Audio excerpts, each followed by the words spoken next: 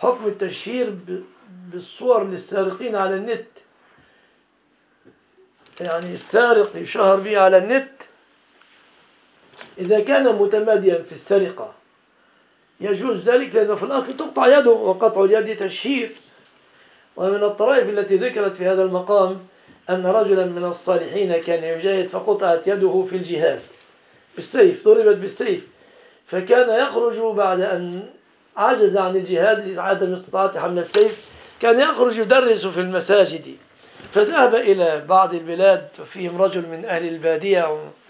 فكلامه طيب ومؤثر ويخرج عن عاطفة طيبة وعن صدق إلا أن رجلا من الجلوس ينظر إليه. فقال له لماذا تمعني النظر إلى يدي؟ قال كلامك يعجبني ويدك تريبني. يعني أنك يعني أنك سارق وجئت توعس